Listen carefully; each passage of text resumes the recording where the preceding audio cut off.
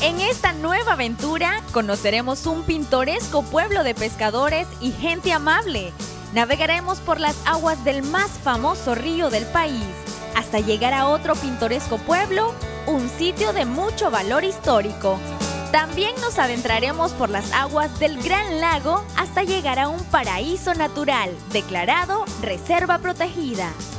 Hola aventureros, hoy nos trasladamos a hacer la aventura más épica de Nicaragua, al lugar más emblemático del país y el que todo Nica quiere conocer. 290 kilómetros nos esperan, así que Río San Juan, allá vamos.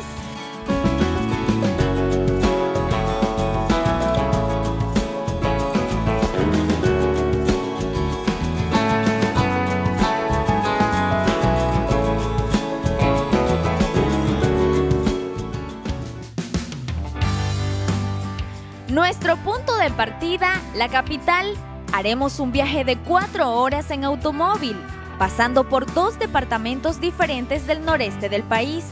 Viajamos poco antes de la puesta del sol para llegar hasta nuestro primer destino, la cabecera departamental San Carlos. Aquí pasaremos la noche para continuar la segunda etapa de nuestro viaje.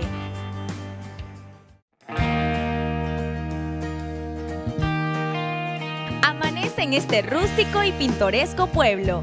Después de una noche de descanso, es momento de ir al muelle, donde nos reuniremos con un grupo de jóvenes estudiantes procedentes de Estelí, con los cuales compartiremos esta épica aventura. Nos encontramos exactamente desde donde nace el río de 200 kilómetros de longitud en San Carlos. Así que vamos a emprender un viaje lleno de mucha aventura, adrenalina y qué les digo, mucho por mostrar. Así que nos vamos a trasladar hasta el castillo. Acompáñanos.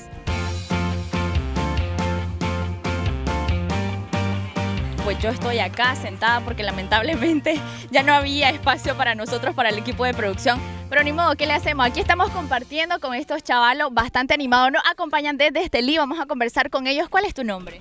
Cindy Altamirano. Cindy, contame, ¿de qué carrera sos vos?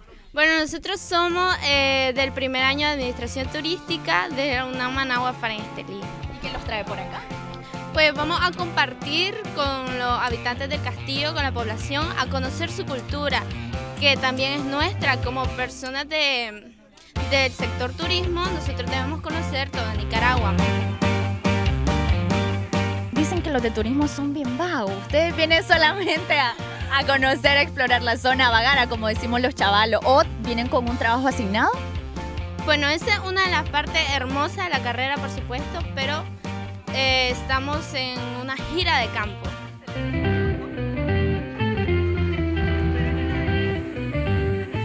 Cuéntame, ¿cuáles son las expectativas que traes para el tema? Eh, bueno, eh, yo quiero conocer, saber mucho de la historia, eh, quiero ver los diversos lugares que hay porque, bueno, no conozco y quiero asombrarme con lo que hay aquí. ¿Ustedes hacen estos viajes bien seguidos? Eh, bueno, no, es primer año que estamos y es primer viaje que hacemos. Oigan, y dicen que ustedes los de turismo son los más animados. ¿Qué dicen los de atrás? Parece que sí, así que señores, así empieza la gran aventura. Nos dirigimos hasta el castillo. Uh, así que el castillo nos espera, muchachos.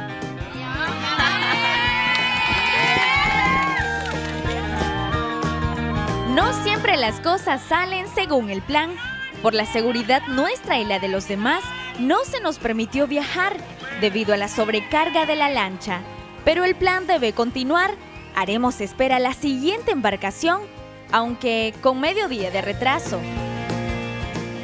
Esos momentos inesperados son los que hacen parte de nuestra aventura y es lo que sucedió en este momento. Ustedes me miran con maletas porque no nos pudimos ir en la lancha, pero pues hay que hacer espera, pero como de todo hay que sacarle provecho, así que hay que animarse y vamos a, a explorar la zona a ver qué más nosotros le mostramos por acá a ustedes.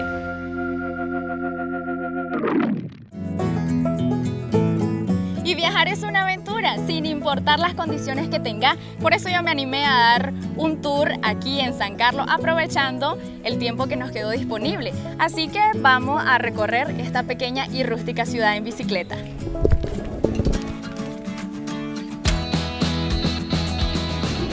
Fundada en 1526 y con una población actual de 15.000 habitantes, San Carlos es un asentamiento estratégicamente ubicado entre el lago Cocibolca y el río San Juan.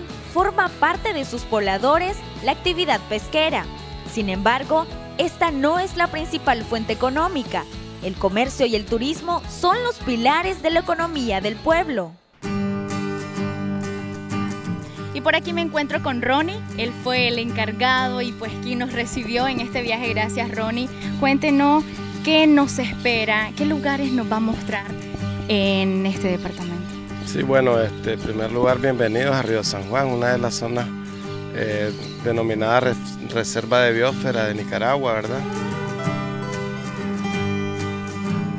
¿Qué recomendación puede darle a ese turista, a ese visitante que viene a conocer este lugar, pero que no venga como un turista de farándula, sino de explorador? ¿Qué recomendaciones puede darle? Bueno, yo, este, para mí, lo que veo exorbado de visitantes es que valoran mucho el contacto con las personas, el, el, conversatorio entre la persona comunitaria y el turista. El turista se interesa por la parte social mucho. Usted ya tiene varios años de experiencia de andar en, este, en esto del turismo. ¿Es rentable? Pues en cierta forma sí, porque es bien remunerado. Es decir, este, siempre recibimos guías tal vez de otras zonas de Nicaragua, pero el guía local también ha hecho su esfuerzo, ha creado algún producto que él únicamente lo domina, que es de mucha importancia para el visitante que le gusta conocer de la historia y la cultura de los sitios. Aquí es en donde nace el río San Juan. Efectivamente, aquí es donde está el enclave, nosotros le llamamos la bocana del río o eh, la bocana del lago Cocibolca o lago de Nicaragua.